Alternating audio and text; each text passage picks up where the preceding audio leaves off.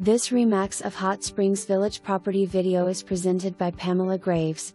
Lot is within minutes of Balboa Golf Course and Lake Balboa. Easy access to East Side and Balboa Gate. Hot Springs Village is one of the most beautiful places to live in Arkansas.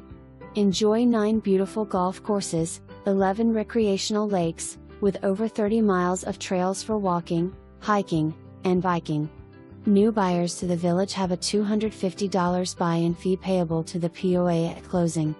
For more information, review the details below or contact Pamela Graves at 501 209 0284.